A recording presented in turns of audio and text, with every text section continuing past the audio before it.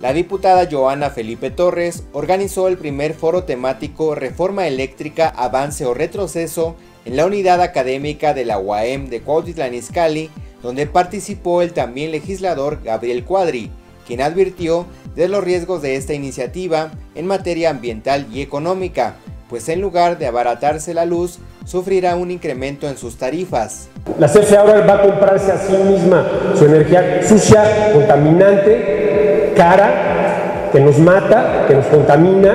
Aquí ustedes sufren en Cuautitlán las emisiones de la central termoeléctrica de Tula, que funciona básicamente con combustóleo y que en la zona metropolitana de la Ciudad de México genera más de 14 mil muertes prematuras al año por los contaminantes peligrosísimos que emite.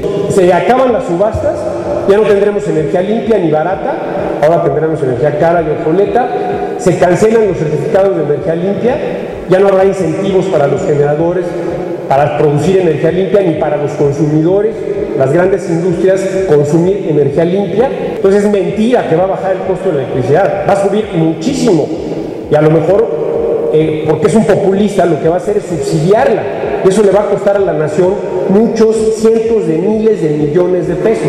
Va a ser un desfalco para todos los contribuyentes y en vez de tener hospitales, sistemas de salud, educación pública de calidad, infraestructura, medio ambiente, seguridad, vamos a estar subsidiando a lo mejor el consumo de electricidad cara y contaminante.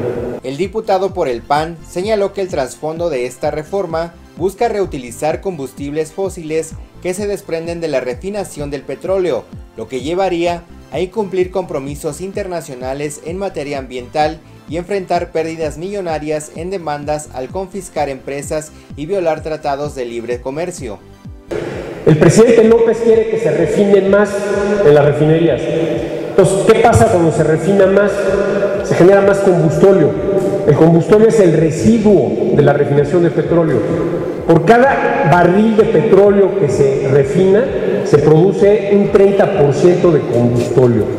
Y ese combustóleo ya nadie lo quiere, ni en México ni en el mundo. Entonces, para poder refinar más, hay que deshacerse de ese combustóleo. ¿Y cómo se quiere deshacer de ese combustóleo el presidente López? Quemándolo en las termoeléctricas de CFE y haciéndonos pagar más cara la energía y pagarlo con nuestra salud.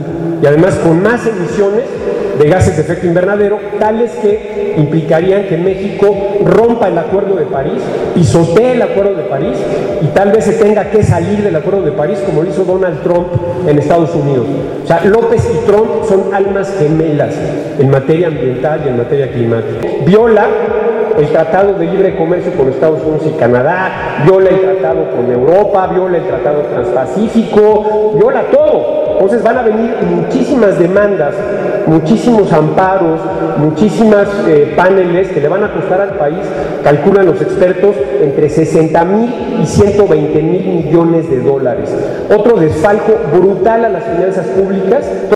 En entrevista, Gabriel Cuadri calificó a esta contrarreforma como delirante y retrógrada por todas sus implicaciones que pretende imponer el presidente de la República, pero confió en que desde el Congreso logren pararla.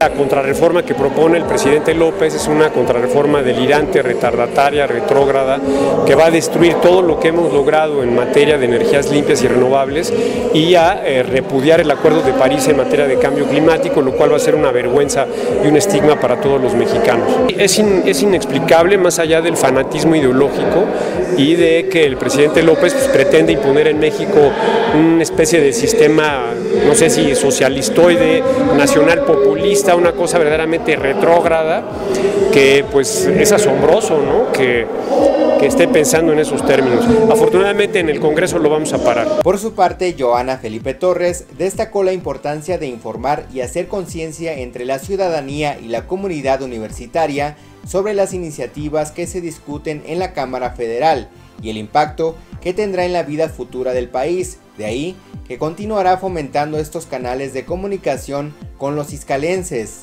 Primero yo estoy muy orgullosa de que este primer foro de una, de una reforma estructural tan importante se haya llevado a cabo en nuestro municipio, en Cuautitlán Izcalli. Tuvimos la participación, como ustedes lo pudieron ver, del diputado Gabriel Cuadri, que es un especialista en eh, temas eh, medioambientales y también en cambio climático. Entonces era importante para nosotros que desde un ámbito que es sumamente técnico también se pudiera abordar el tema. Es importantísimo que la sociedad tome conciencia de estos temas que son trascendentales para la nación, que no se dejen llevar únicamente por frases populistas, por frases, por discursos demagógicos, sino que realmente le entren al tema, que lo estudien, que se den cuenta de cuál es el fondo de todo esto.